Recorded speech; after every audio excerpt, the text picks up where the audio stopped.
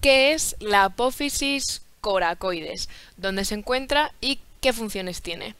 Bueno, pues vamos a ver qué es una apófisis que se encuentra en la escápula o también te sonará porque se puede llamar homóplato, ¿vale?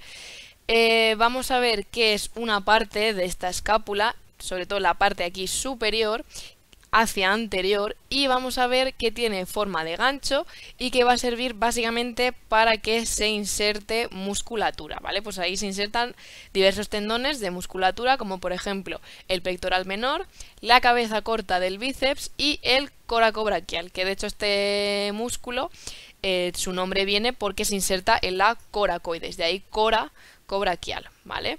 Entonces, eh, vamos a ver que tiene esta función, evidentemente, pues de tener ahí insertada la musculatura y por lo tanto nos va a permitir movimiento en toda la articulación del hombro, ¿vale? ¿Y qué patologías más comunes podemos encontrarnos en esta apófisis coracoides?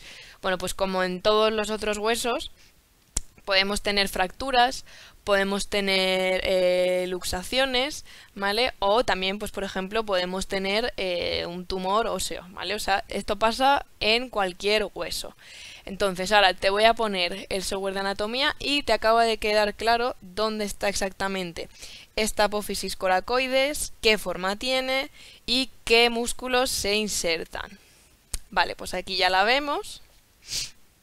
¿Vale? Que aquí primero te voy a señalar los músculos esto sería el pectoral menor que se está insertando ahí por la cara más anterior, más anterior perdón, y luego aquí te estoy señalando el bíceps, pero ojo que solo se inserta ahí en la coracoides la cabeza corta, ¿vale? Porque la larga mm, va más por la, eh, por la zona del húmero y luego acaba insertándose más en otra zona de la escápula cerca de la glenoides.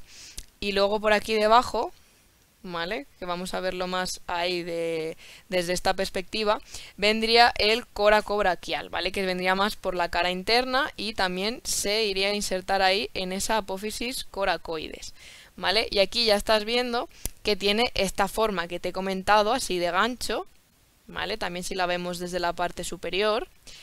Y todo esto viene de la escápula, que la vemos aquí que es un hueso así bastante plano, pero que tiene dos ganchos, pues la parte de aquí que sería la apófisis coracoides y el otro gancho así más lateral sería lo que se llama el acromion, ¿vale? Y hasta aquí la información acerca de este hueso. Bueno, espero que este vídeo te haya gustado, que te sirva, que te ayude. Ya sabes que puedes ver otro montón de vídeos aquí mismo, visitarnos en nuestra web fisioterapiaonline.com o suscribirte a este, tu canal de Fisio Online.